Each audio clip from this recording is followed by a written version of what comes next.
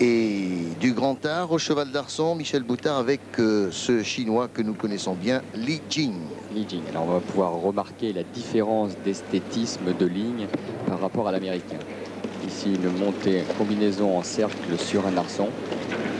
Il est champion du monde en titre, hein, rappelons-le. C'est Belenki qui est champion du monde ah 91 en titre au cheval d'arçon. Mais peut-être va-t-il lui ravir ce titre. Voilà une combinaison Oh là là, qu'est-ce que ça va en Thomas, beaucoup de boucles Thomas. Encore les ciseaux obligatoires. Ça, c'est un point du règlement, bien sûr, qui est peut-être discutable, mais bon. Ça va très vite quand même. Hein, là. Il va terminer avec un appui tendu renversé. Et il reste. c'est parfait, il n'y a rien à dire. On laisse à l'appréciation des juges de faire la différence. Il est très satisfait, vous voyez, de son exécution. Vous voyez les combinaisons en boucle Thomas entre les arçons.